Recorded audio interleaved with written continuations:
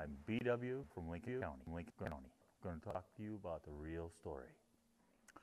I got started in farming with my with my dad. I started, started a partnership when I graduated from high school uh, many years ago, and uh, agriculture has really changed in in the past.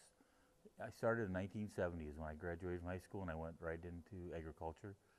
I uh, uh worked with my dad, farmed in uh, with my dad until 1981 when he retired.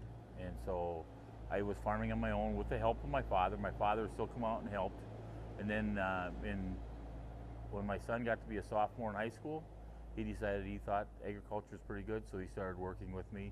And when he graduated from high school, then he started to work uh, as a team.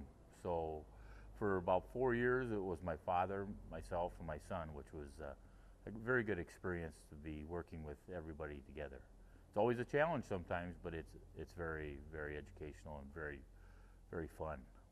I look forward to having you join me this week as we talk about what we do on our farm for conservation, how we do our tillage practices, and, and what we actually grow on this farm and, and how, how it's changed in the past few years, how uh, agriculture has changed to be a more conservation minded